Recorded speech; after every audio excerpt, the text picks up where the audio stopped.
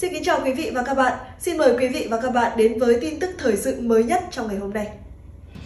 Lũ cuồn cuộn cô lập trăm hộ dân, cán bộ gác chặn không để ai mất tích. Sáng ngày 28 tháng 9, ông Trần Văn Tặng, Chủ tịch Ủy ban Nhân dân xã Vĩnh Âu, huyện Vĩnh Linh, Quảng Trị cho biết, do mưa lớn, nước dâng cao đã cuốn trôi cầu tạm khiến cả nghìn nhân khẩu bị cô lập. Việc cầu nối thôn Thúc và thôn Cây Tăm bị cuốn trôi khiến hơn 330 hộ dân với gần 1.400 nhân khẩu trên địa bàn xã này đã bị cô lập hoàn toàn với bên ngoài.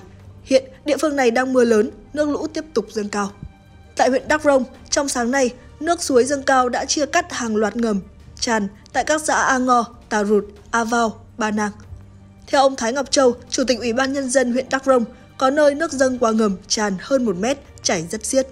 Đơn vị đã chỉ đạo chính quyền các địa phương trên cử lực lượng chốt giữ, yêu cầu người dân không đi qua các ngầm tràn, khu vực nguy hiểm.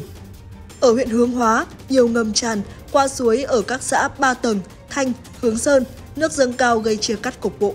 Mực nước ở các con sông, suối ở hai xã Hướng Việt, Hướng Lập đang dâng cao từ 0,5 đến 1 mét. Các đập tràn ở thôn Cuôi, Chi xã, Trăng, Tà Puồng, Xà Đưng, nước ngập sâu 0,5 đến 1 mét, nước chảy xiết, đã có 3 thôn ở hai xã bị cô lập. Chính quyền cũng đã triển khai lực lượng chốt chặn tại các điểm bị ngập, ngăn không cho người dân qua lại.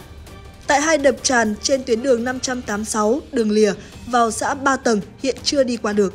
Hiện các thôn Sipa, Ngược, Ba Ngày, Ly Tôn, thôn Ra Lây, thôn Ba Nang, thôn Ra Pong, thôn Sa Trầm đang bị chia cắt. Các đập tràn trên địa bàn xã Thanh, mực nước đang lên dần. đầm Ngân Thanh ngập 1 mét gây chia cắt cục bộ đường đi ra huyện Hướng Hóa.